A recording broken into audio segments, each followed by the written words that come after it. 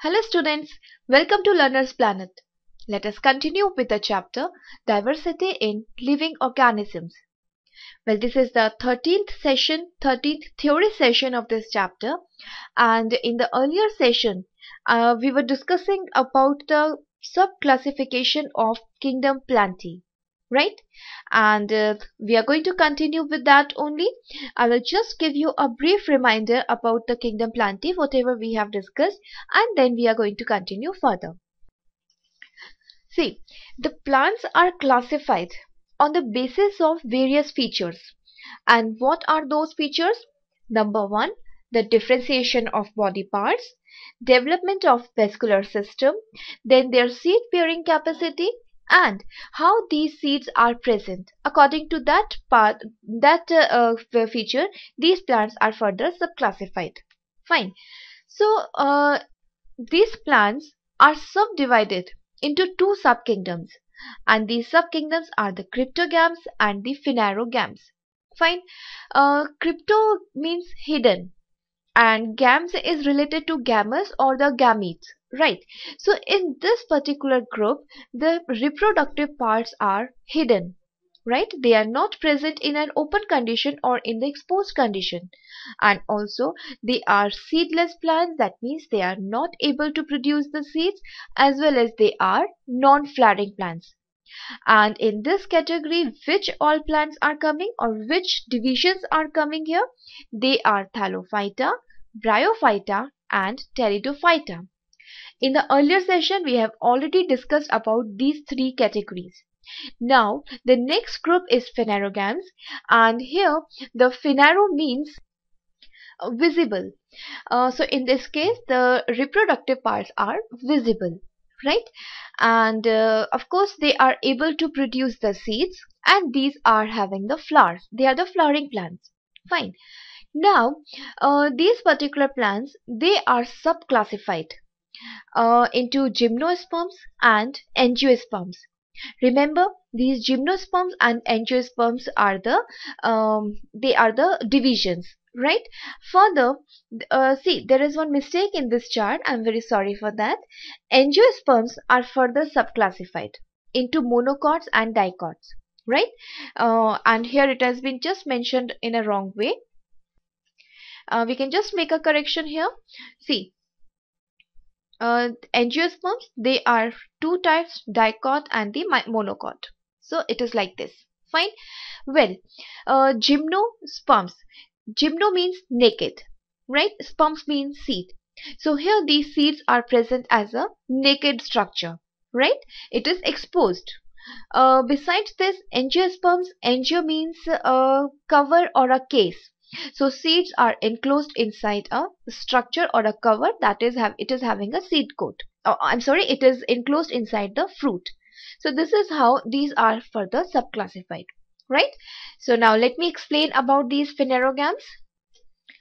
So uh, these uh, phanerogams, uh, as I already said what it means basically, uh, this subkingdom includes those plants that bear external flowers and they're able to produce the seeds. So the seed bearing capacity uh, it is actually the particular uh, feature which places any particular plant in this particular subkingdom. That means only those organisms that, uh, that have the seed bearing capacity they comes under the phanerogams. Fine and well this uh, presence of this external flowers uh, maybe these flowers are not well developed or they depending upon their position or their uh, uh, existence these plants are further subclassified. Fine? Anyways uh, the reproductive parts. The reproductive parts are well developed in these particular plants. That means they are having the well developed male and female reproductive parts they uh, which are able to produce the male and the female gametes. These male and female gametes they can fuse together uh, and they can form the structure known as zygote which is further going to grow into the embryo. And this embryo further it is going to be enclosed inside the seed so uh, i can say that uh, the seeds are having uh, the embryos are uh, uh, they are enclosed or they are developing inside the seeds further right? Or the seed is having a hard coat uh, in its surrounding which is enclosing this particular structure which is known as the embryo. And embryo it has been resulted from the zygote which is the fused form of male and a female gamete so such type of process the reproductive cycle or a sexual reproduction it takes place in a, a well developed manner in this in these particular plants. Uh, whereas it is not so uh, exactly in the case of cryptogams over there there is no seeds over there. That means the embryos are uh, not enclosed inside any hard structure. Fine uh, further the seeds uh, they may be present as a naked structures or they may be enclosed inside the fruits so depending upon this particular fact the plants are further subclassified so these uh, seed bearing plants, if the seeds are naked, they are uh, they will belong to the division gymnosperms. And if the seeds are enclosed, then they are uh, uh they will belong to the division angiosperms. Uh, altogether, in common, these particular plants are having some common characteristic features. And you know what are those features? It is that the plant body is well differentiated that means they are having the well developed root system uh, shoot system uh, or I can say the root stems and leaves are very well developed in these particular organisms. Uh, besides this the vascular system is also well developed uh, this vascular system that is of course comprised of xylem and the phloem tissue. So these are very well developed in the gymnosperms and in the angiosperms Further, the embryo, it always develops from the fertilized egg. Right? So this is of course one of the characteristic feature of the phanerogams. Well now, let me explain you the specific features of the group gymnosperms and the angiosperms. So, the plants that belong to division gymnosperm, uh, they are said to be most primitive. You know, in terms of what? See in the uh, initially when I was discussing about the kingdom Plantae, I said the thallophyte, right? The group Thallophyta, it is comprised of the plants which are most primitive, most simplest plants, right? Now here I am repeating the same thing. So don't get confused. Here I am saying these are those primitive or simple plants in which the uh, first time the seed bearing capacity is present they these are the this is the first group right which is able to produce the seeds. Further although these seeds they are not uh, enclosed inside any structure like fruit. Fine. Rather they are present as a naked structures. Uh, these plants are generally woody uh, perennial and evergreen. Uh, you know what is meant by all these things Woody, of course, you must be knowing that they are having the developed bark or stem structure. Uh, then perennial means they are uh, perennial, that means those which can grow for more than a single growth season. Right. And evergreen, that means they can grow in any season. Right. That means they are green in all the different seasons. Fine. Uh, vascular system, as I already said, is well developed. But here, in this case, that is in the gymnosperms, xylem tissue lacks the vessels and phloem tissue it lacks the companion cells. That means the secondary growth is uh, uh, comparatively less in this particular uh, vascular system in the gymnosperms. Besides this, the sporophylls, you know what are these sporophylls? Sporophylls, uh, they are known as, they are defined as a spore bearing leaves so these spore bearing leaves they aggregate to form the cones. Uh, and there are separate male and female cones in these particular plants. So these are the important basic features of these particular gymnosperms. Uh, well, for example, uh, these particular uh, this category includes the plants like uh, cycads and the pines and all. So one of the picture is shown here that is the pine tree right? So this pine tree is an example of uh, this particular category. Besides that the deodar plants cycas all these belong to uh, such a group that is gymnosperms. Well, next division is the angiosperms and these angiosperms are said to be the highly evolved plants which are having the well differentiated body and the well developed vascular system. The uh, seeds which are produced in this particular group, they are always enclosed within the fruit. Uh, the seeds definitely they are comprised of the embryos, right? They are having the embryo inside uh, inside the cover definitely. So this embryo which is uh, actually the precursor tissue for the development of the new plant right uh, besides this the important point is that uh, these embryos they are uh, enclosed inside the cover in the seeds definitely right?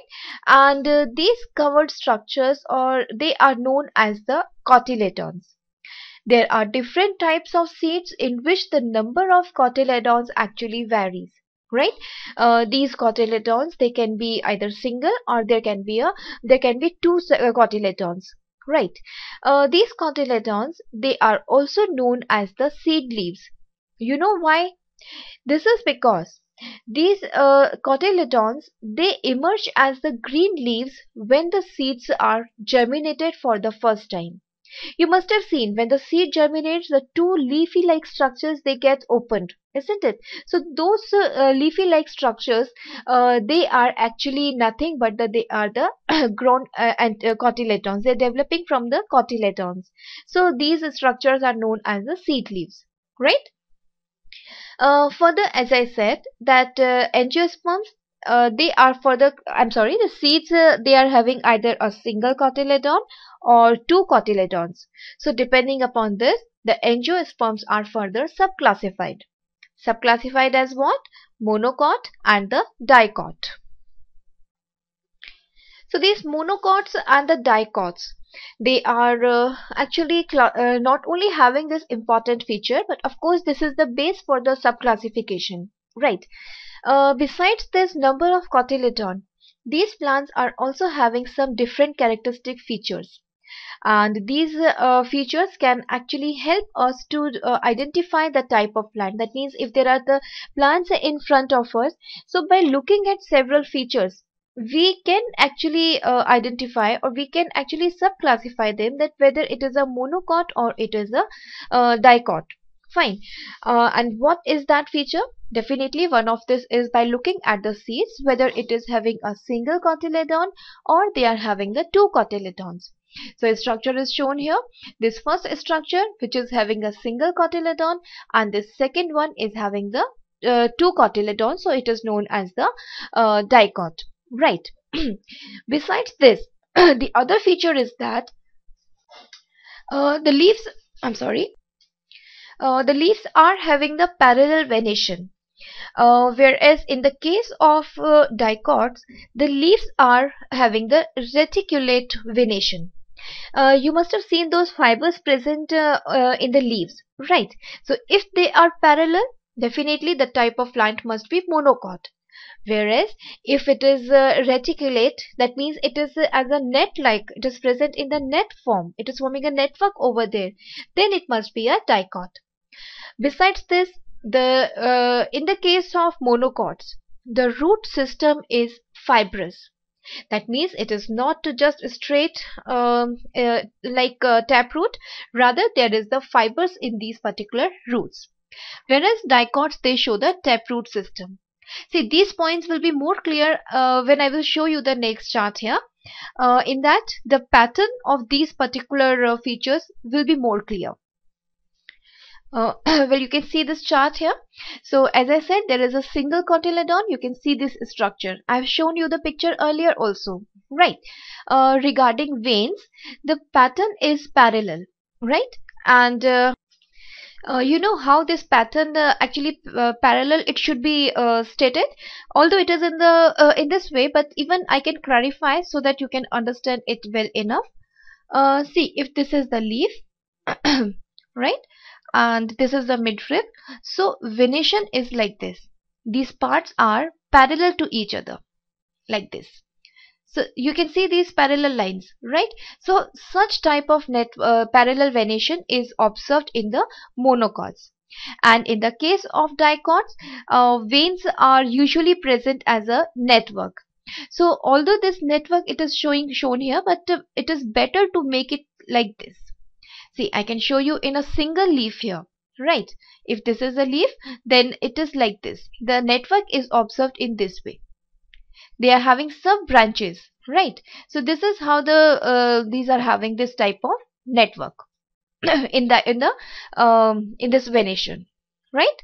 So this is what uh, we exactly i know the picture is not looking so perfect but definitely i hope you must have understand the concept. So they are having a network like uh, leaf uh, i'm sorry. Uh, then the uh, vascular bundles in the case of vascul uh, in uh, monocots the vascular bundles are scattered. You know what are these vascular bundles? The combination or the uh, structures which in which the phloem and uh, uh, xylem tissues are arranged together. So these bundles of phloem plus uh, xylem they are known as the vascular bundles. In case of monocots they are scattered if you observe the uh, this uh, um, the ts of this stem or these parts then you will observe under the microscope that how these are arranged. If they are scattered it should be monocot. If it is uh, uh, in a particular uh, uh ring it is arranged well in a ring then it must be a dicot. So definitely for this you will need a microscope.